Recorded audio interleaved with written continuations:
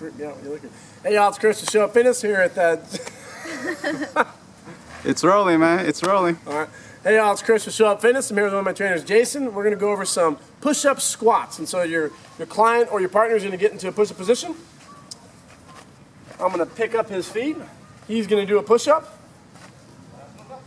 And I'm going to do a squat. Push-up, squat. There you go. Nice. That's a great partner chest and leg exercise. The push-ups